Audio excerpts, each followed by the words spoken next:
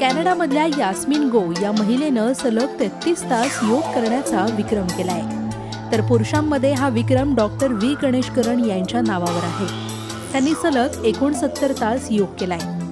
आता या सगळ्या रेकॉर्ड्सना आव्हान दिलंय नाशिकच्या प्रज्ञा पाटील यांनी.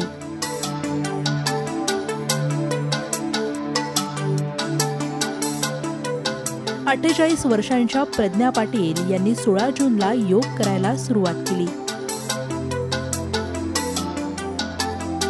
काहीशी क्रॉस केल्यानंतर महिला साधारण त्यांची मानसिकता बदलून जात असते की अरे आता माझं वय झालं आता मी काय करू शकत नाही. तर का तसं त्यांनी बदलून टाकावी आणि बघा ॲक्सेप्ट करावं की आपण ठरवलं तर केव्हाही कधीही काहीही करू शकतो. नाशिकमध्ये व्यवसाय करताना त्यांना बीपीचा त्रास व्हायला लागला. म्हणून त्या योग करू लागल्या. मग त्यांना योगाची आवड निर्माण झाली.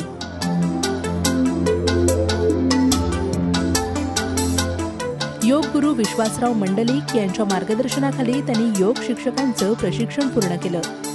त्यांनी योगामध्ये एम ए केलं. आता पी एच डी सुरू आहे. योगा हे खरं मनाचं शास्त्र आहे. म्हणजे जगात हे एकमेव शास्त्र आहे की ज्याने म मनाचा विचार केलेला आहे. त्यामुळे मनावरच सगळा खेळ खेळ चालला चालत असतो. तर माझं तरुणांना सांगणं आहे की जिम वगैरे करण्यापेक्षा जिम अगर आवड आहे तर तुम्ही करा परंतु योगाला प्राधान्य द्या योगाला लाईफस्टाईल म्हणून ॲडमिट करा. योगा फक्त व्यायाम करण्याचं माध्यम नाही आहे तर किंवा प्राणायाम करण्याचं माध्यम नाही आहे तर योगा हे जीवनशैली आहे की तुम्ही कसं जगावं तर योगा ही जीवनशैली समजून घ्या.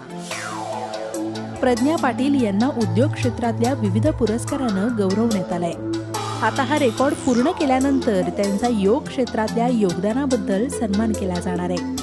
Yogesh खरेसह bureau report Zee media Nashik.